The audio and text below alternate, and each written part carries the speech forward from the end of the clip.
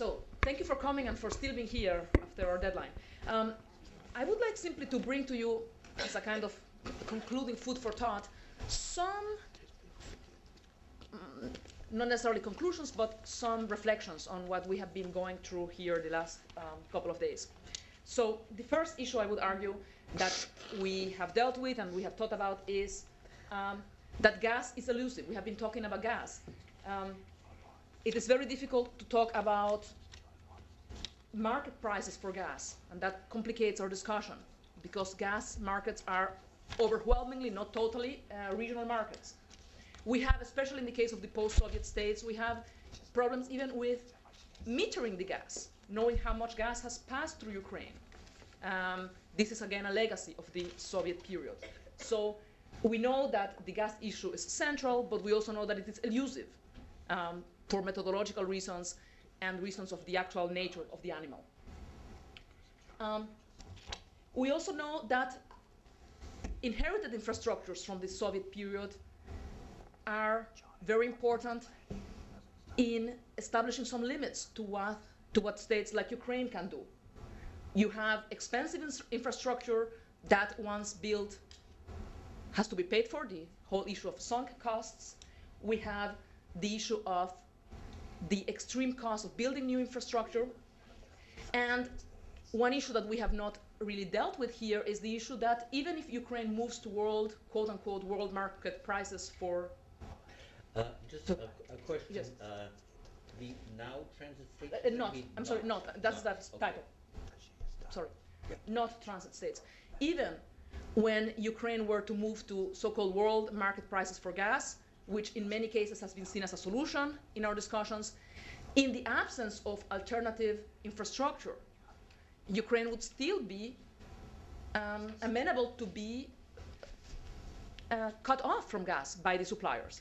This is a very complicated issue that we need to uh, think about. Um, we also know that the post-Soviet transition era gas markets are rent-rich. Um, this most likely will end once all actors along that long line with many little twists and turns from producer to Western European consumers all pay so-called international market prices for gas. But until that happens, the gas pipeline continues to be a huge source of rents. Um, part of this is because of the multiple access points. Uh, I think one of the slides, uh, the last slide in Mr. Dr. Konoplianik's uh, presentation talked to that when you presented the Uzbek, Turkmen, um, Ukrainian, and so on parts of this very complicated conceptual pipeline. And this makes the gas area especially prone to the temptation of rents and bringing in the rent-related actors into the picture. Uh, is Ukraine unique? I think one of the things that has uh, become clear from our discussions today, and that perhaps is not so clear to many of the people um, in Ukraine who experience day to day the situation, is that Ukraine is not totally uh, unique. We, one needs to understand Ukraine in a much larger context, perhaps in the larger context that, that uh, Mr. Saprykin uh, was uh, just alluding to when he talked about the larger set of transit energy dependent states in the former Soviet Union, countries like not only Ukraine, but like Belarus, Moldova, although you did not mention Moldova, um, Georgia, uh, Armenia, etc. So these problems are not unique. Our understanding of a country like Ukraine can only grow if we gain a better understanding of these issues in other transit states, especially energy poor transit states.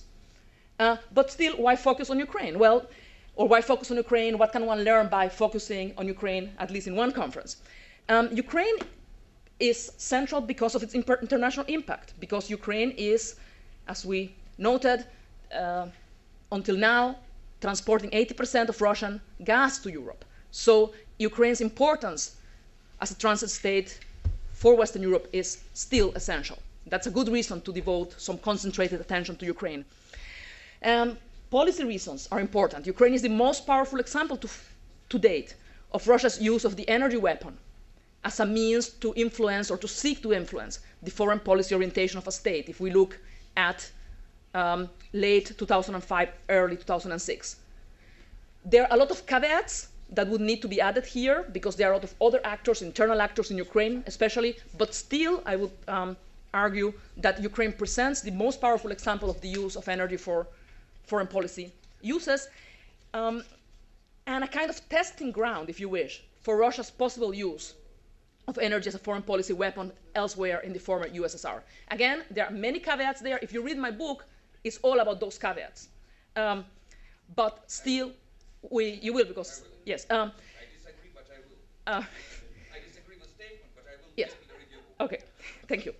Um, and it, it makes sense to focus on Ukraine because Ukraine, energy poor, rent rich. It is, the case, it is in the case of Ukraine that some of the most clear domestic struggles for the control of energy related profits and rents become visible because of Ukraine's combination of being a huge transit player and a huge consumer market. It is exactly in Ukraine that many of those rents and rent possibilities have concentrated. This, uh, therefore, it can be a very interesting case to understand a variety of other phenomena.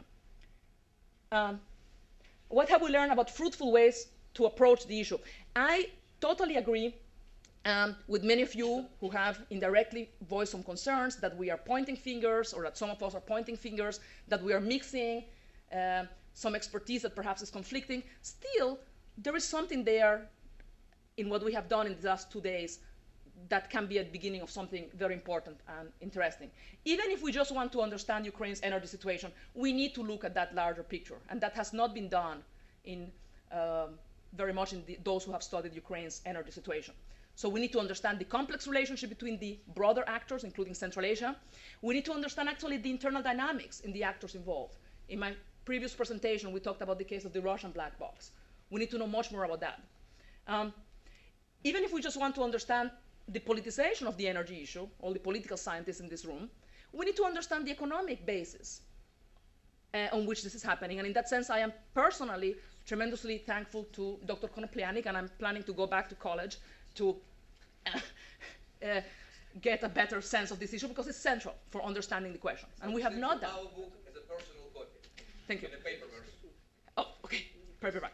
Um, but even if we believe that the economic basis is the determinant, we need still to look at the political side of things because um, understanding the real ways in which corruption and rent seeking do take place, uh, above and beyond whatever economic theory may say, ways of understanding in which political arrangements within states play a role, international political arrangements play a role.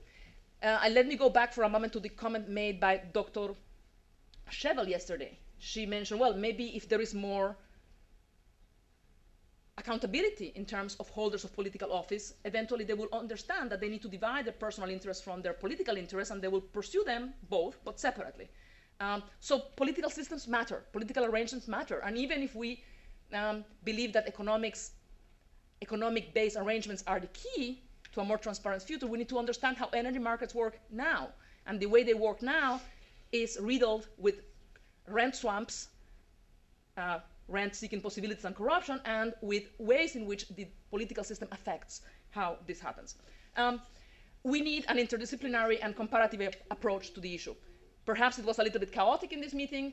Uh, there is still a lot to be gained from this, and I am personally really thankful to you for coming here.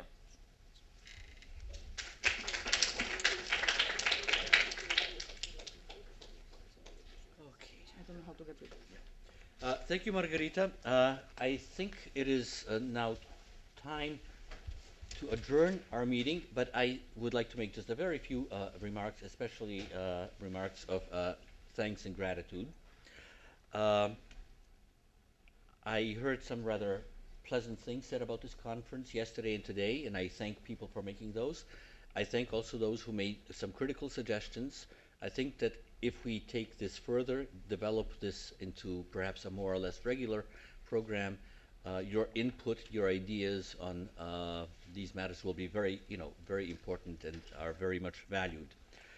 Uh, however, I think that uh, it is time perhaps to uh, thank those who made this event uh, possible. Uh, I would like to thank, in the first instance, the directors of the two uh, centers uh, that sponsored and financed this event. Michael Flier, the director of the Ukrainian Research Institute, who unfortunately wasn't able to be here. He's out of the country. And uh, the director of the Davis Center, uh, Professor Timothy Colton, who did join us uh, yesterday, as uh, well as the associate director of the Davis Center, Liz uh, Tarlow, who has been extremely, extremely helpful. it is an unfortunate thing that very often the success uh, of events such as this, you know, depend to a great extent on people who are invisible to the eyes of the beneficiaries. Uh, and this tr- truly would not have been possible without the enormous amount of work and dedication put in by um, the staff, especially of the Ukrainian Research Institute. Uh, Kate Kisselstein, who may still be outside, was you know someone who helped arrange uh, reservations for tickets, tried to get tickets sent electronically, tried to help people to retrieve their electronic tickets that were hidden in the computer according to formulas that people could not access. Uh, things of that sort. Uh, Tamara Neri, who is not here, uh, who was uh, very important in the planning of the logistics. Scott, uh, uh, M- MJ Scott, who is our financial officer, who made sure that the bills will were or will be paid uh, uh, eventually. And uh, also the Alex Woskob Family Foundation Endowment, which covered the substantial part of the cost of this conference. I want to thank all the speakers, all the commentators, uh, the chairs, all of you who uh, participated, uh, who enhanced the quality of this program with your questions and comments. And of course, uh, you know, special, special thanks to my co-organizer, Margarita Balmaceda, whose uh, expertise, uh, without whose expertise, this simply would not have been uh, possible. So again, thank you. We hope to have follow-ups. I hope that the networking that we have started among ourselves will prove useful. It certainly will be for us, but I hope that also for you, with us and among each other. Uh, thank you again, and hope to see you at our next event.